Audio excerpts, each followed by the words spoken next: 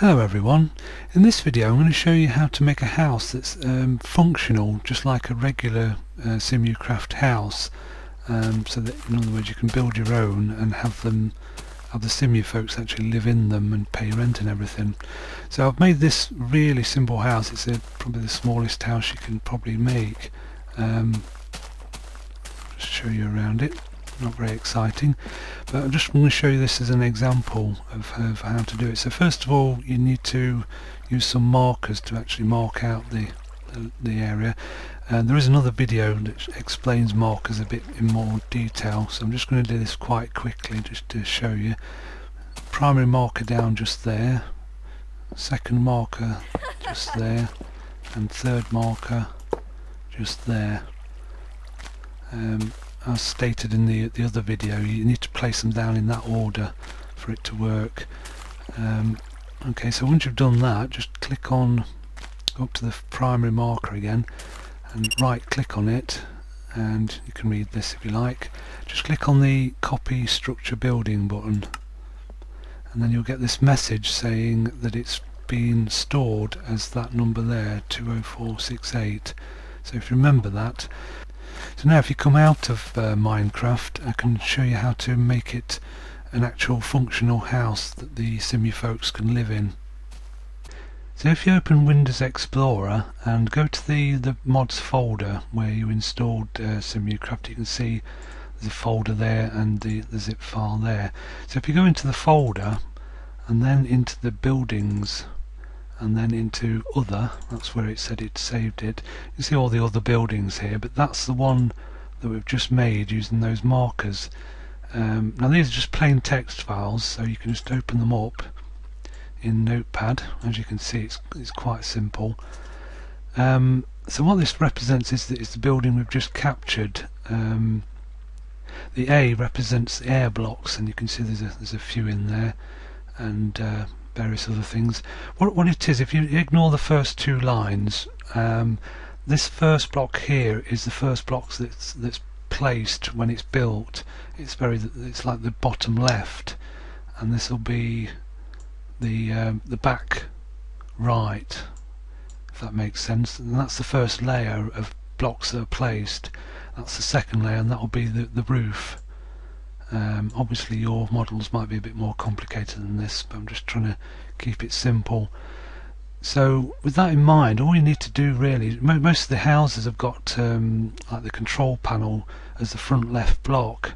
So I'm just going to do the same here. All you need to do is replace the first character with a dollar sign. That's like a special character to represent where the control panel is placed. So you can place it indoors as well um, but I'm just going to place it there so when this gets built, that block there that was a plank will be replaced by the control panel instead. Uh, the next thing you can do is um, at night when the Sim-U-Folks come home they stand in a particular place um, and that can be altered as well. The way you do that is um, you need to re replace a, um, an air block with an exclamation point now it'll be placed as an air block as normal, but when the game sees that, um, it'll place or get the, the Sim-U-Folk to walk to that uh, particular spot. So like I say, this is the first layer that's the ground layer, so to speak. This is the second layer. Remember this, uh, it was a very small house, so you can see there, there's, there's like two air blocks, one on top of each other, and that's where the player will stand. So all you need to do is put um, an exclamation point just there. That's where they'll stand, where their feet will be and their body and head will be in that air block there. But you only need to do where the feet will be. You don't need to do anything else. So that's all you need to do. Just uh, replace some of the characters with the dollar for the control box and an exclamation point for where they stand and then just save the file back as normal. Save the file like that. So one final thing you'll need to do um, if you go into the buildings folder which is in the, the Sim-U-Kraft folder itself and then into other you see you've got the uh, the building I've just made. Um, you don't have to do this, but it, it makes a lot, lot more sense. If you give it a sensible name like uh, my tiny building.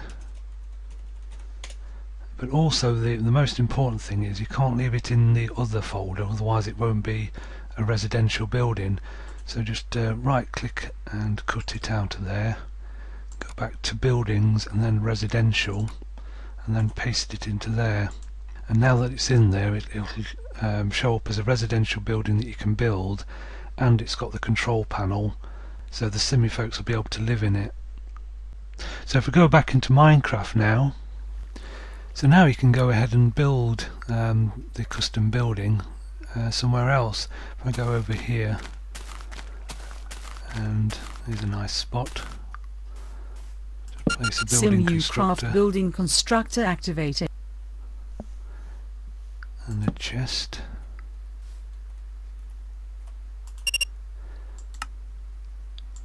Right,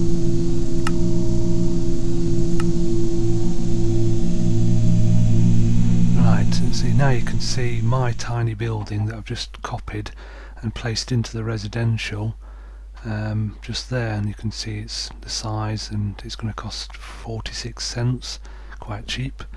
So just I'm click ready. on that and done. And we'll need some we'll need some wood in there and some glass. Well some planks and glass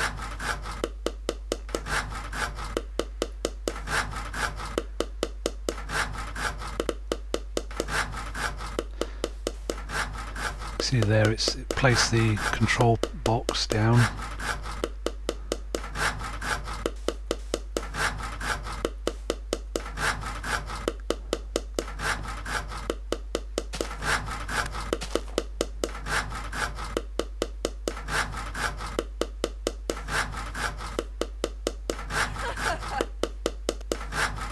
find it quite um, amusing.